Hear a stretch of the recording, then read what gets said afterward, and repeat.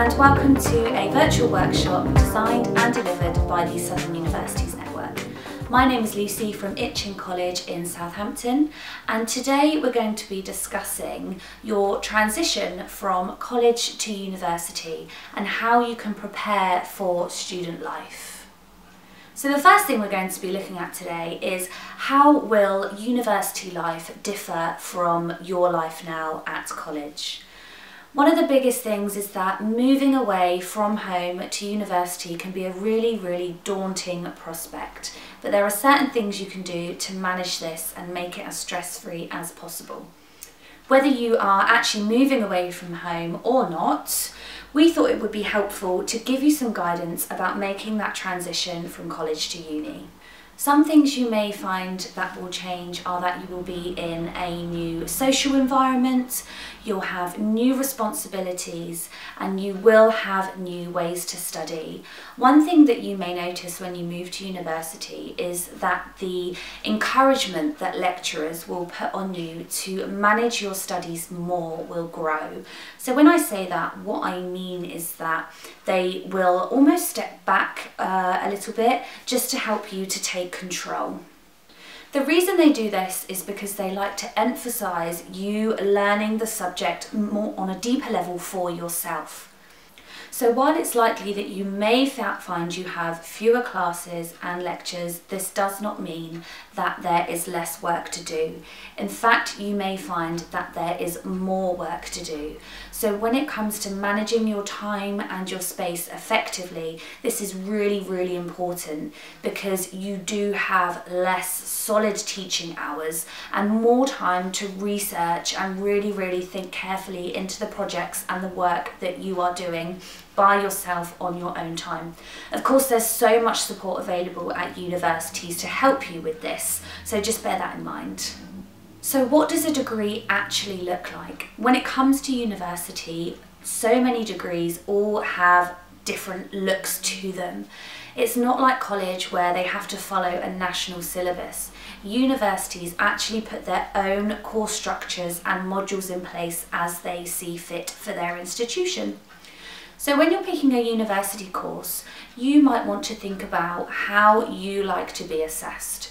Do you want something that's more uh, still classroom based, so lectures and things like that? Or do you want something that's more practical and hands on and relates to real world experience more?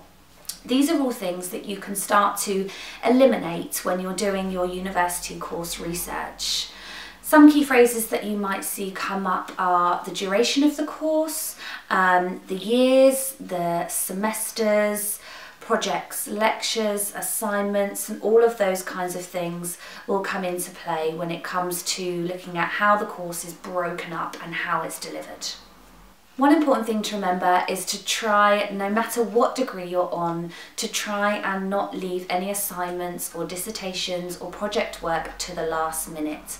While you are given more control with your learning, it means that um, it doesn't necessarily mean that you have more free time to spend. So it's really, really important that you could even create some sort of timetable just to help you to visualize when you should be socializing and having downtime, which is really important, and when you should be studying and working hard and putting research into all of your work that you're creating.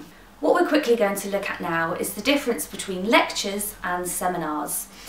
Lectures you may find in a bigger space with more students, with one lecturer standing at the front and delivering their content and their presentation. It will introduce topics, key themes and ideas and they typically give you a broad range of information to familiarise you with the topic. This requires you to make lots of notes and active listening is required. Seminars you may find are often carried out in smaller groups, so they are more discussion based, and you may find that subgroups are issued in order to have discussions and debates on a smaller topic, which is then broadened over time. This means it's a lot more um, interactive, but make sure that you prepare for seminars and always do your reading and research. When it comes to finances, it's all about balance. There are important things to budget for when you're at university, and yes, this does include socialising and going out. However, one thing to remember is that if the first instalment of your student loan comes in and you go out and spend it all on clothes and takeaways and maybe even drinking, this won't give you much left to feed yourself comfortably for the rest of that payment. Lots of people think university is expensive and will leave you in lots of debt. However, there are lots of ways you can cover your costs, including government tuition and maintenance loans, getting support from parents, carers, and maybe some savings if you have been saving over the previous years. Applying for scholarships or bursaries if you can't get that extra support, or getting a part-time job while you study is a really, really popular option for lots of students once they have familiarised themselves with the surroundings of their university. So we're going to look at student loans now. Many people are eligible to take out a student loan for those years at university. Now repayments for your student loan will not be made until you are earning a certain amount of money per year in the job that you gain in the following years after you've graduated at university. There's quite a big myth around um, the financial side of university and many people think they can't afford it and that's really really not the case. With this, it is all dependent on earnings that you make as an individual once you have started a job. So a big thing to remember is that repayments with university are based on how much you earn, not how much you borrow. If you're unable to pay your student loan back after 30 years, it is wiped. One tip is that if you are interested in applying for a student loan, do it as soon as you can as this can be a lengthy process and takes some time. This is done on the gov.uk website, Student Finance England platform. Always ask for support in college by tutors or any other staff for some guidance on how to do this. Some additional money tips as well. Look around for the best bank account deals that you can. If you're living on a campus university, your campus might actually have a bank on site. But there are lots of banks around the city that you may go to university who offer student bank accounts. So check out what those deals are. If you are getting a loan, it's unlikely that it will go into your bank account on the first day, so it's really important to try and have a bit of backup just to get you started. Invest in some kind of travel discount cards. There is quite a lot of support out there for student travel. Um, so you may find that you're going to and from home, especially if you're going far. This is really, really important. You might be travelling to see other friends or even family. You may have friends on different campuses, going to and from bars and restaurants. If you're, on a, if you're in a big city university, you may be getting the bus quite frequently to and from different campuses to your lectures. There are so many websites out there to help you with your university student um, finance management, such as TOTUM, University Days and Student Beans. Try and create some kind of budget tracking spreadsheet just so you can keep on top of your income and your spendings just to make sure you can see each month how much money you have left over to play around with and if you may be um, experiencing a few financial restraints towards the end of the month you may have to hold off on that new pair of jeans. So we're going to take part in a quick activity now. Once I've explained, I'm going to ask you to pause the video so you can carry this out. In pairs, what you're going to do is make a list of items that you would need to take on your first day of university when you move away.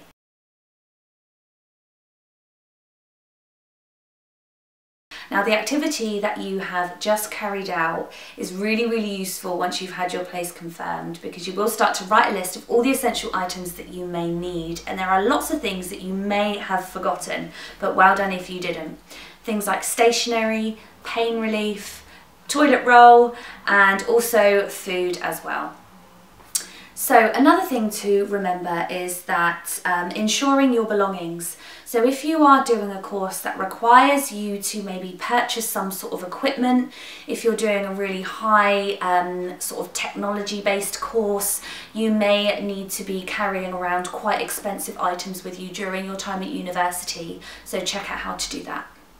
Keep up to date with your university's news and updates especially at the moment with everything that's going on with COVID 19, it might be really useful just to find out what's happening at your choice of university in terms of any remote learning, any kind of um, special inductions that you need to take part in, anything that's going on in Freshers Week. Keep up to date and know how you can get involved.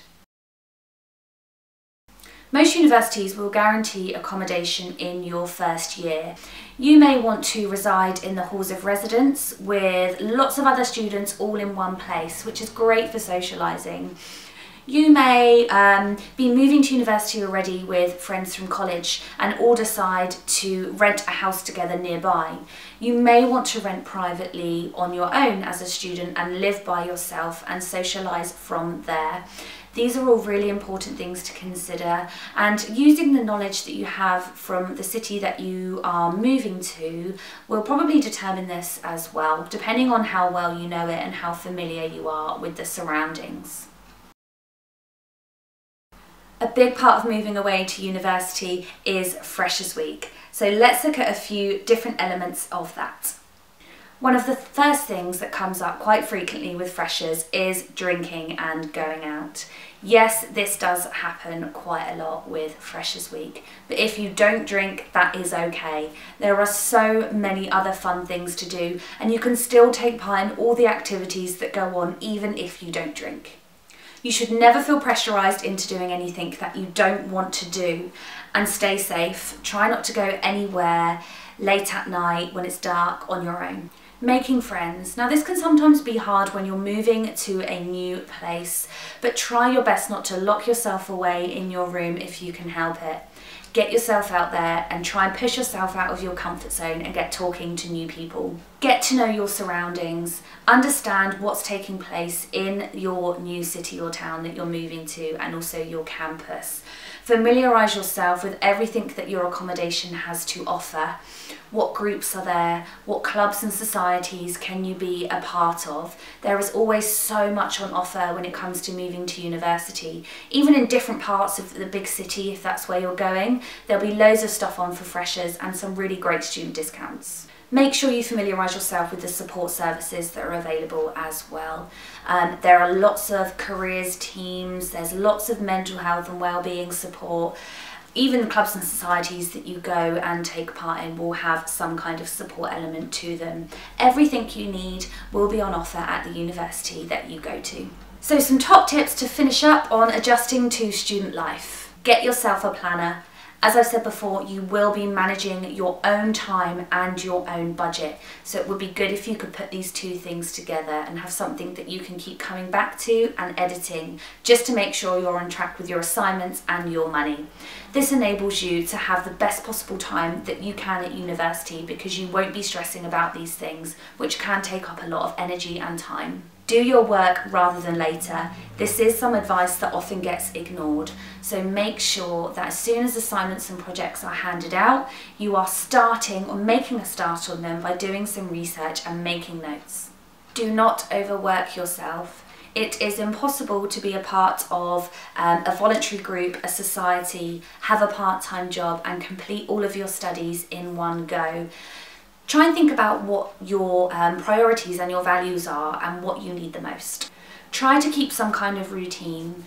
If you've had a big heavy night out before, you don't want to be staying in bed till three o'clock the next day. This is okay every now and then and every so often, but just try not to make a habit of it. Try and get yourself out, get some food and get some fresh air.